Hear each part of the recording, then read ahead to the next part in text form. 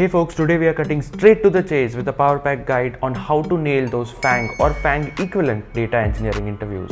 So grab your notepad, buckle up and let's dive headfirst into everything that you need to know to conquer this challenge like a total pro. So what do I mean by FANG equivalents? Well, they are very good product companies that pay almost as much as Fang does or sometimes even more. They are generally smaller and they have really interesting tech stack to work on and their interview process is very similar to most of the Fang companies because a lot of employees there are like ex Google, ex Meta, ex Amazon, etc. And what you are seeing on the screen right now is the list of such companies. As you might know, I'm Jash. I'm a senior software engineer working in DoorDash in data and AI field and previously I was a data and AI engineer at Google. Before we jump in, don't forget to like this video and subscribe to the channel if you have haven't already. This really helps me out a lot. And also a huge shout out to our sponsor Amber which is the best place for students to find accommodation abroad. More about them later in this video. As you might know there are mainly two types or broad categories of interviews. One is technical and second is non-technical or also known as behavioral. I'm not going to cover anything about the behavioral rounds in this video because I feel like it's a completely separate topic. In this video, I'm going to be sticking to technical interviews and I'll cover number one, what all interview rounds are there. Number two, uh, what kind of questions to expect and how, what is the best way to answer them. Number three, I will also be sharing the resources so that you can get better at each of these rounds. And number four, I will be sharing some additional tips and tricks that will be helpful during your interview process. So now let's understand what does the process of interview looks like at FANG or equivalent data engineering companies.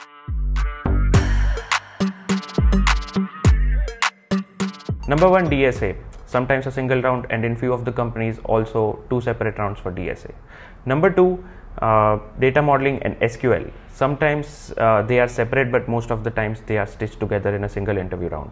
Number three, system design, and number four, role related knowledge, are also known as RRK rounds. These interview rounds are mostly divided into two phases screening round and on site rounds. So, screening round happens after you have been shortlisted, your resume is selected, you had a call with recruiter, and they feel like you are a good fit for the role. After that, the screening round happens, and if you get through, then you get a series of interview rounds afterwards which is called as on-site rounds. The reason i'm using quotes is because nothing really happens on site nowadays. It's mostly virtual but that's how still they are being referred to which is a little weird but it is what it is. It is what it is. It is what it is. So if you don't do well in one of those on-site rounds you're not rejected straight away. There you have to wait for the decision after all your rounds are completed. At least that's how it is in most companies. Okay so now we understand the high level interview process. Let's look at what you can expect in each of these rounds. We have collectively decided to punish ourselves with data structures. So let's jump into dsa where you will be given one or two problems and you have to solve it within 45 minutes of time. And sadly this is the round that is toughest for data engineers because you might be a really good data engineer but you might be really bad at dsa because you have not been practicing. The thing about dsa round is you can stick to any language python java kotlin go uh, c c++ c sharp Rust, JavaScript. Well, you get the point, right? I mean, there's no weight given to the language that you use, so it doesn't matter. There's a misconception though that if you use Python, that interviewer will be less likely to be impressed because there are a lot of libraries in Python and you can write a very short code. Uh, compared to other languages, but that's not really true. For example, if one of the subtasks in your DSA problem is about sorting a list, then you can easily do list.sort in Python if you do that then you can ask interviewer that hey is this okay? Can i use the direct python function or do you want me to write the exact sorting algorithm? And even if you do use sort and the interviewer asks hey what is the actual sorting function behind this python sorting function? You should know the answer to that. The number one place to get started and to be familiar with all the different algorithm patterns and data structure questions is by going through this book cracking the coding interview. You can learn a lot from this book. And this book also contains some sample interview questions which will be really helpful. These are the most common interview question patterns that you will come across. Once you're done with the basics you can go to LeetCode and pick your favorite language and start coding. In websites like LeetCode you will mostly find three levels of difficulty easy medium and hard. But in reality they can be divided into four different categories because medium is generally very broad. So i would personally divide them into easy, medium, medium hard, and hard. Now you'll be wondering what the heck is medium hard, right? Generally, as per my experience, 80% of the problems that LeetCode categorizes as medium are actually medium, and only 20% of them are from medium hard. How many coding questions should I solve? In my experience, solving about 100 to 200 LeetCode questions from the category easy and medium out of the four categories that we just discussed is sufficient.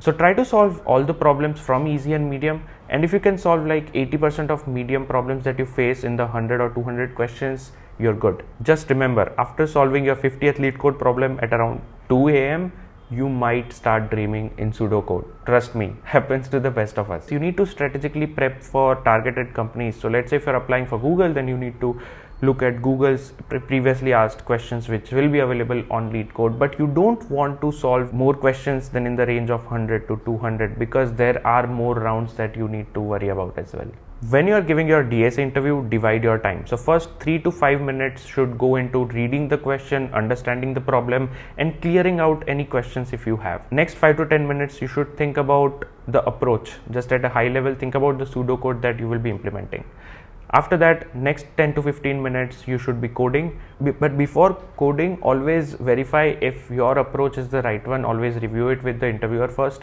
And even when you are coding try to explain as much of your code as possible uh, to the interviewer. I have been an interviewer as well. And let me tell you something.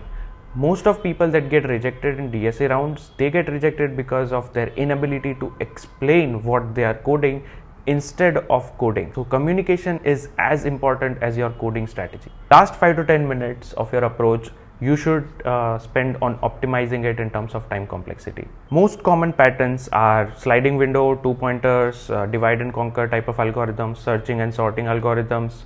Even in tree and graph, they usually stick to traversal algorithms like BFS and DFS, and recursion also helps in optimizing your code or at least making it shorter and easier to read. Are you a student heading to the US or other countries abroad for studying and the search of accommodation almost feels impossible? High prices, limited availability, and complete lack of reliable listings. Sounds familiar, right? But what if you had a simple, trustworthy solution at your fingertips? Amber, which makes your student accommodation search completely hassle free. With options over 250 cities globally, including hotspots like New York, LA, SF, Boston, Amber's got something for every budget in your preference. It's not just in US. Amber services most top cities in UK, Australia, Ireland, Canada, Germany, and Spain. Looking to stay near NYU, UCLA, Harvard, or MIT? Amber connects you directly with properties that fit your needs minus the stress. All you have to do is apply a relevant filter of your location, price, and more, and you'll find trusted accommodation. Their exceptional 24 7 customer support means you will never face any bumps on the road. Ready to find your ideal place? Click the link in the description below to explore Amber and book your home away from home. Start your adventure in new countries like US with a complete peace of mind. Now back to our video. Data modeling and SQL. Now that our brains are fried from DFS and BFS, let's bring some relational drama into the mix. Sometimes these are two different rounds, but most of the times they are rolled into one. This is how it starts for an example. Uh, you are a data engineer hired to build a data model for an e-commerce company. What would you do? What you need to do here is stop stop yourself from directly giving an answer. This is the biggest mistake that I've seen candidates make. You need to ask a lot of clarifying questions to get a more clarity of the use case because building a data model of e-commerce website that's a very very vague use case. So you need to ask a lot of questions to narrow down your problem. For example, one of the questions can be what data analysis do you want to do on top of this model? And let's say you got an answer like I want to see top merchants and bottom merchants by region and by country and I also want to see trend charts over time of merchants sales and order volume and profit. So after asking this simple question now you know that you need to uh, use merchant data. You also need to use consumer data because that might contain information about regions. You might also need product data because that may contain information about different product categories. You may also need orders data because that can contain information about different transactions. So now that you know what all high level entities you will be needing, you need to identify fact tables. So Fact tables are the one with significant numerical value that makes sense for business. In our case, fact table will be order transactions data and all other tables like consumer, merchant or product or region, they will mostly be uh, dimensional data. So after you have listed down entities and facts and dimensions, you need to list down different columns, different primary keys of the fact table, and you need to list down again different columns of dimensions that you'll be using. You'll have to identify different foreign keys, the grain of the tables for each of them, and you have to also link them together. What will be the relationship? Will it be one to one, many to many, and so on? You usually start with a logical data model, and then you move on to a physical data model where you think about partitioning, bucketing, or maybe even storage structure or indexing at some point. But this entire process should not take more than 15 to 20 minutes because you will have SQL questions after this most of the time within the same round. If you want to prepare better for data model use cases, I recommend going through number one, dimensional data modeling by Kimball. This will highlight the overall process that you need to know for data model from a theoretical point of view. And then you need to go through data warehouse toolkit book. Now this book is really long, so you don't need to go through the entire book, but you will find use cases section for different data model examples like human resources, telecom, e-commerce and much more. So more of these examples you go through, better you'll become at data modeling. After you create the data model, you will be asked SQL questions on the same data model that you created. So mostly you'll be asked three or five different SQL questions and they would be incremental in nature of difficulty. So they would start with the most easy question like something like with a normal group by first and then they would go to joining and then self joining or uh, something like using window functions and subqueries or CTEs. You will have to write around 3 to 5 SQLs within 10 to 15 minutes. So you need to be really quick in this round. How do you become better at SQL? It's just like DSA. So the best place to learn SQL would be through going to a website like W3 schools and get the basics right. But once you have done that, you need to go to LeetCode and start solving problems. One resource that I recommend is the SQL 50 resource. This has 50 different SQL questions. Most of them are easy and medium, and some of them are hard. You can go through all of them. Overall, aim to practice at least 50 to 70 SQL questions before you go into the interview. System design this will be one of the toughest rounds that you will be facing in the entire interview process and the difficulty of this will keep on increasing as you get more years of experience. Let's look at some sample questions. Imagine you have millions of IoT devices, each emitting sensors data every second. Your goal is to collect this data, process it in real time to detect anomalies, and store both raw and processed data in a scalable data store how would you design an end-to-end solution similar to data modeling if you directly jump into answering instead of asking questions you're already as good as rejected. So what are some sample questions that you can ask in this case? Is our main goal anomaly detection or there are other analytical needs as well like predictive maintenance or user behavioral analysis? Is the data structured, semi-structured or completely unstructured? Uh, is the data coming in a constant rate or if there are any expected spikes like daily peaks or event driven bursts? How do we handle authentication of devices, etc.? So why ask question? System design is all about choosing one technology over another. For data ingestion alone, you will have three or four different options. Similarly, you'll have all these options for orchestration or data processing, storage, etc. So you need to compare the pros and cons of all of these three, four different options in each layer of your pipeline and that should be related to the use case that you're solving. So in order to understand the use case better, you have to ask questions. But spend no more than 5 minutes on asking these questions and next 2 to 3 minutes on analyzing the answers of these questions.